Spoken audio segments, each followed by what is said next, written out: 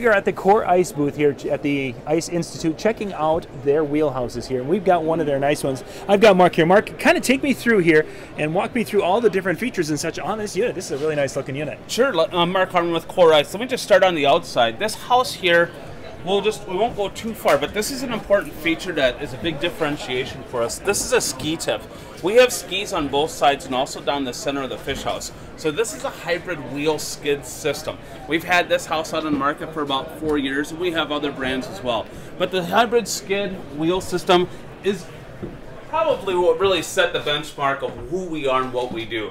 The other things that we have is our panel systems are made out of a fiberglass, high density foam and fiberglass. And so it's a structural composite panel.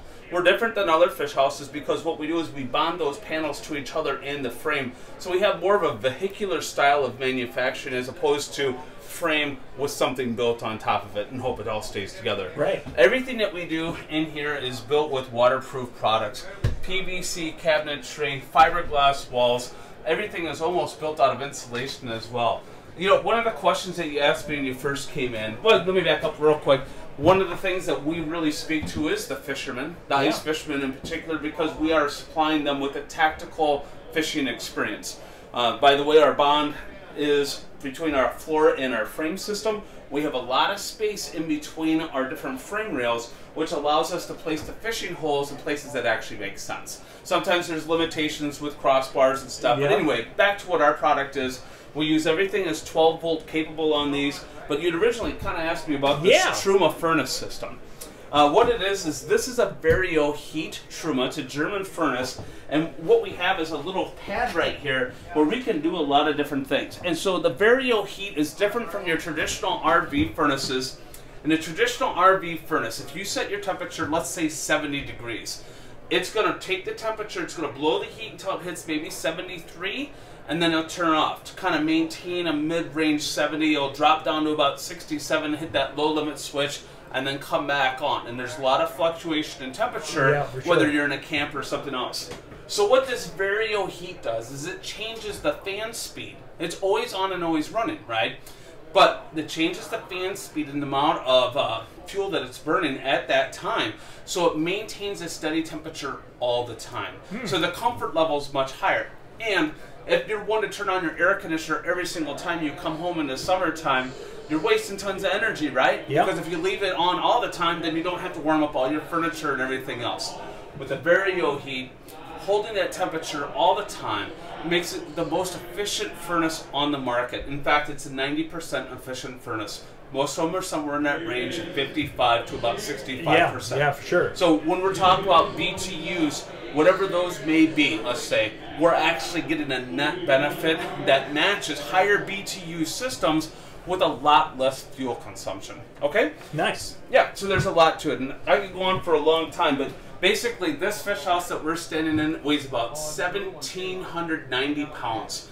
So we're really a lightweight thing. You can pull this with a tracked ATV, maybe a snowmobile. Uh, you can pull it with a side-by-side, -side, what have you. Has a ramp door on the back really easy modular seating configurations. You can take this dinette out, you can drop this bunk down to this level, sleep a couple people here, you can flip this up and you can fish the different holes. So we have a lot of different things, tons of stuff on our website as well, which is core-ice.com.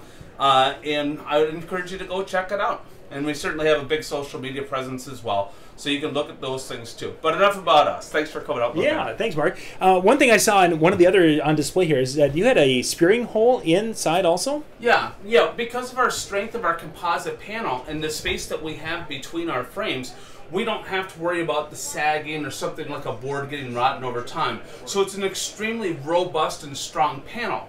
And so that panel, we can drive four-wheelers or UTVs across that, and it's always going to hold the same strength.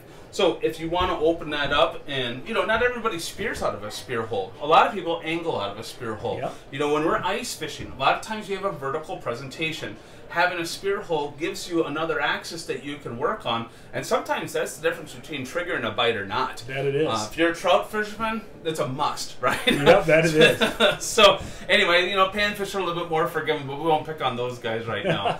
so yeah, that was a good observation, and uh, you know, one of the things that we're definitely doing as well. Hey, I want to tell you one other thing because this is kind of revolutionary in the fish house business as well. I have a link that uh, we can give you or whatever, but this is a switch system that goes through and it has the silhouette of the house all the way through here. What is cool, besides the visual display that it has, this can sync to an app on your phone.